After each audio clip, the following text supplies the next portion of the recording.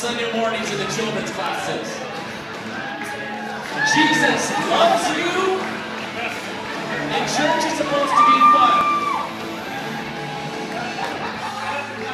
Have they found any worms?